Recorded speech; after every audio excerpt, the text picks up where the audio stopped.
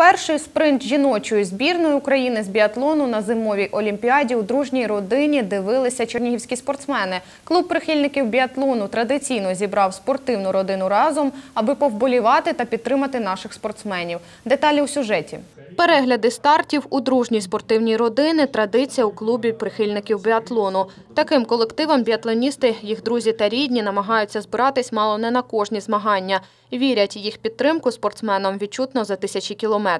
Ця велика біатлонська спільнота – реалізована мрія Людмили Шандаренко. Жінка любить біатлон, а ще більше, зізнається, любить свого зятя. Тож і присвятили клуб відомому біатлоністу Андрію Дереземлі. Андрій, коли уїжджав завжди на збори, і його друзі, всі наші хлопці збірної біатлони, саме почали клуб почався з чоловічої збірної. Тут залишалися їх дружини з маленькими дітками, яким потрібна була допомога. Тому що ті, хто тут має батьків, тим допомагали батьків. Але в нас були такі е, хлопці, дівчата, які е, з інших міст, а тут жила їх родина. І ми допомагали цим або з дитячими садочками, або з лікарнями, або навіть так якась е, допомога по переїзду.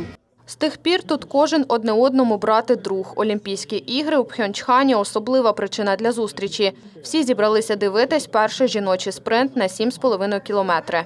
Перед першим стартом хвилювання присутні, особливо, якщо доводиться боротися за олімпійські медалі. Роман Прима сьогодні у ролі вболівальника, проте каже, нервується не менше за тих, хто бере участь у гонці. Біатлоніст зізнається, вірить у забобони.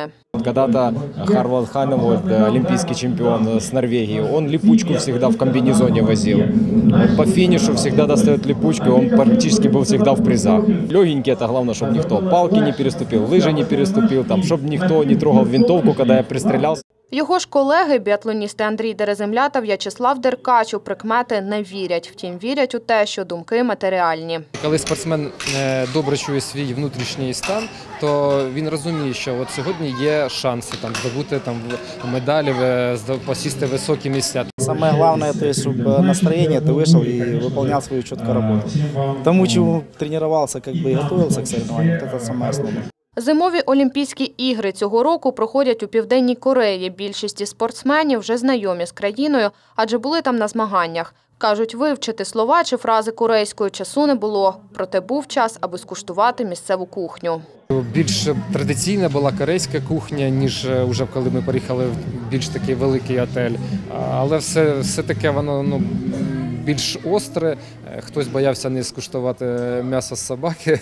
Мы ходили, да, там э, и собаку пробовали, и это ну, на- нормальное обыкновенное мясо, так что в этом плане ничего там сложного нету. Единственное, что они больше предпочитают, ну, как бы ту рыбу они сушат э, зимой, почему-то вылавливают, и она просто под открытым небом там высушивается. Сложно сказать, что это были за, не знаю, за приготовленные продукты, с чего. Это какие-то, какая-то травка, какие-то, я не знаю, но на вид, если у нас это рыба, да, она у нас ну, похоже на рыбу или на кусок мяса, то там это какое-то непонятно, в, каких, в каком виде оно, как оно вообще готовится и подается. Это все острое какое-то, ну, оно не совсем приятно. Естественно, это на любителя. Вот они, естественно, привыкли к своей пище, но для нас это очень сложно.